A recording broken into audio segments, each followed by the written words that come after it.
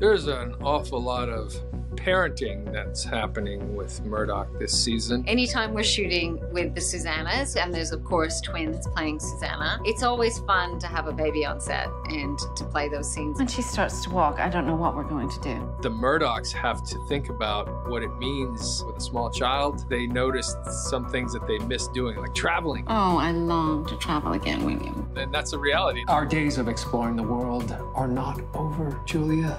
They've just been delayed. Lots. I think he's learned a lot working for the police, but I think as a private detective, he's able to, to be truer to his own sense of morality and just his own style. It feels, I must say, quite wonderful to be right here.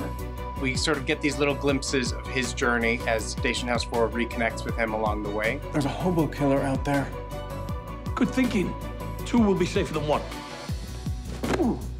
It's a real sort of classic comedic duo between the two of them. Jonny was making me laugh so much. It was the end of the day. Everybody was freezing. We were shooting outside. We needed to go. I pride myself on not laughing too much, but this was uh, a problem. I enjoyed that. I enjoyed that. Surprise is a bad idea.